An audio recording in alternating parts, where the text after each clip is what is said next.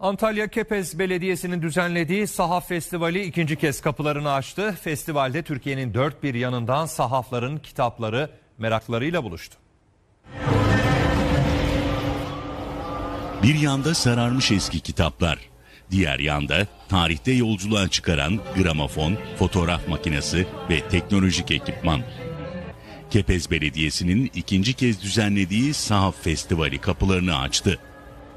Antalya'da düzenlenen Sahaf Festivali koronavirüs önlemleri düşünülerek dizayn edildi. Festival için açık alanda Sahaf Sokağı oluşturuldu.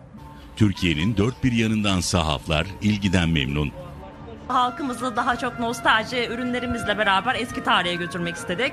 E, tarihi kitaplarımız, antika ürünlerimiz şeklinde. E, talep çok güzel. Geçmişle geleceği kucaklayan festivalde kültürden sanata, müzikten edebiyata birçok koleksiyonu bulmak mümkün. Eski kitaplarda bazen içerisinde notlar çıkıyor.